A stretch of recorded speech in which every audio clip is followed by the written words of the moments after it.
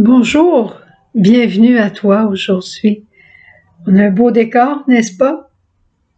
Vive le Triduum. C'est le Triduum qui nous vaut un beau décor comme celui-là. Alors aujourd'hui, le message va être un petit peu plus court, mais je tenais à te rencontrer pareil et partager avec toi la première lecture du livre de, de Josué. Mais avant de regarder, on peut la regarder tout de suite. Quand on regarde cette euh, première lecture de Josué, il rassemble les anciens, il rassemble les responsables de l'Église, pas de l'Église, mais de son peuple. Et là, de la part du Seigneur, il commence à leur faire une nomenclature de ce que Dieu a fait. Il s'est occupé d'Abraham, il lui a donné Isaac. Isaac ensuite a eu Isaü et Jacob. Et ensuite, Jacob et Isaü et les fils de Jacob. Ensuite, il y a eu Moïse. Et là, il raconte tout, tout, tout ce que Dieu a fait pour son peuple. Une véritable liste de bénédictions que Dieu a faites. C'est merveilleux à, le lire. Là. On dit, mon Dieu, Dieu en a donc bien fait pour son peuple c'est probablement une liste que toi, tu n'as jamais fait comme moi. Des listes, on vit avec des listes. Il faut avoir, quand on va chez le médecin, la liste de nos médicaments. Ensuite, on va à l'épicerie. Il vaut mieux avoir une liste de ce qu'on veut acheter parce que si on a trop faim, on va tout acheter. Ensuite, on a une journée devant nous. pour pas se, oublier ce qui est important, on fait une liste de choses qu'on a à faire. On part en voyage, on n'espère rien oublier. On fait une liste de tout ce qu'on a apporté. Arrive le temps de l'automne, qu'est-ce qu'il faut faire? Il faut faire ci, il faut faire ça. On fait une liste des choses qui sont à faire. Arrive le temps de Noël, qui est-ce qu'on va inviter? Où est-ce qu'on va aller? Quel cadeau on va offrir? On fait encore des listes. On est toujours en train de faire des listes.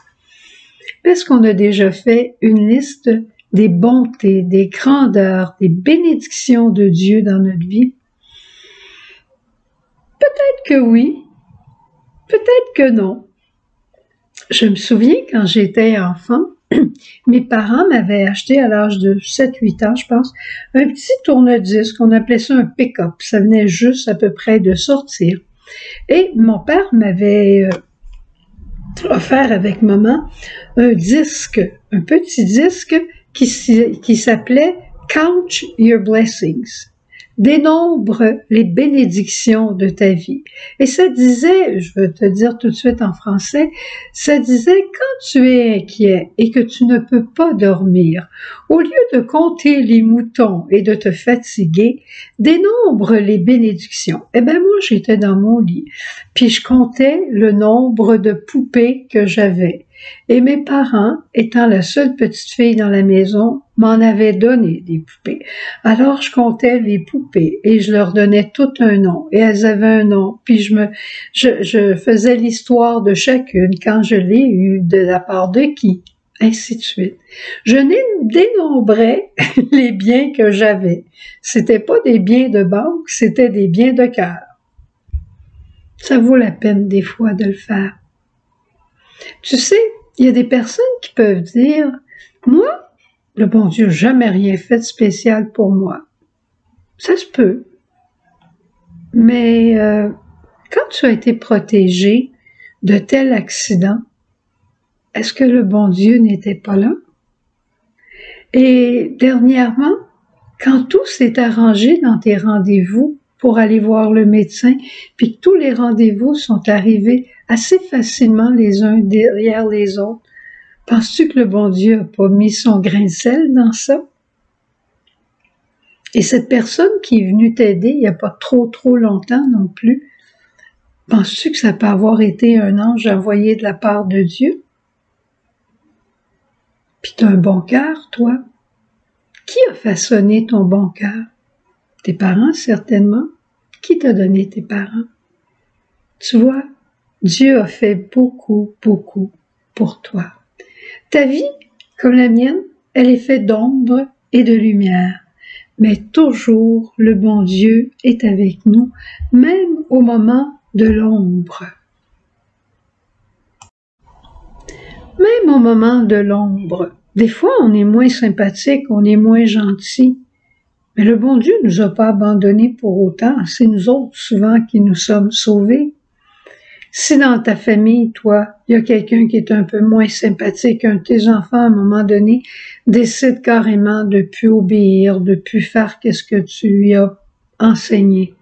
Est-ce que tu l'aimes moins? Ça peut te faire de la peine. Tu vas, peut-être tu vas réagir. Mais est-ce que tu arrêtes de l'aimer? Pas du tout. C'est la même chose avec le bon Dieu. Il est toujours, toujours là. Alors, à la suite de cette première lecture dans la liturgie, on a le psalmiste qui se met à chanter.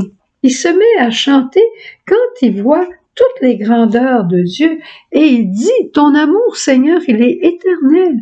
Rendez grâce au Seigneur, il est bon, éternel est son amour. Que le dise la maison d'Israël, que le dise la maison d'Aaron, que le dise la maison des, des, des Giroux, que le dise la maison des Messieurs, que le disent toutes les familles. Dieu est bon éternel est son amour. Et si je peux te demander quelque chose pour prolonger le message, essaie de dénombrer toutes les bénédictions de Dieu dans sa vie. Probablement tu vas te coucher tard, mais ça vaut la peine de le faire. Au revoir, à demain et au Triduum si c'est possible.